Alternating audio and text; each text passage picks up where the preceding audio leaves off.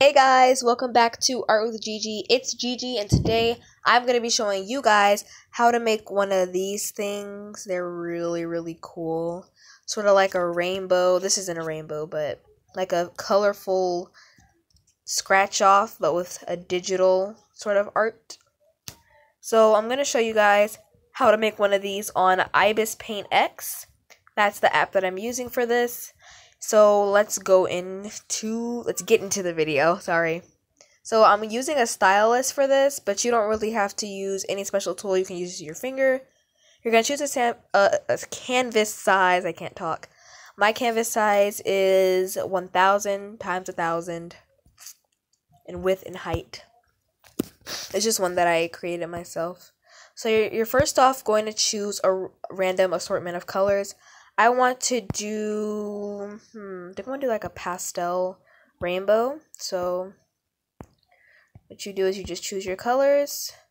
I'm doing mine in this squiggly sort of motion. You can do it however you want. And you can also use a certain tool. Let me show you guys.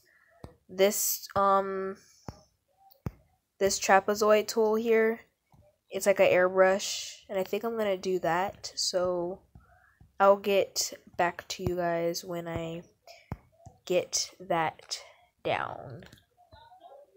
Okay so here it is. I made a nice little pastel rainbow. I actually really like this. So now that you've got that what you're gonna do first of all change your brush back to whatever brush you had before. I used um, the felt tip pen soft as my favorite brush on here you're gonna make you're gonna um take it all the way to 100 then you're gonna go to the little layer section and you're going to go to the plus sign which is over here. Tap it and then you should have a second layer that's completely blank. Then you're going to change the color to black or whatever color you want to choose. I feel like black is like the best contrasting color. It'll make it really pop.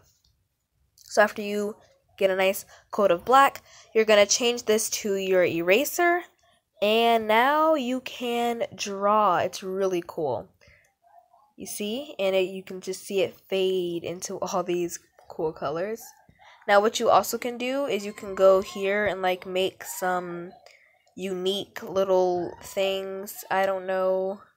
You can just do like a lot of different doodles with this and it's really fun. And once again, cool. Woo! I actually really like that. but it's also kind of stupid.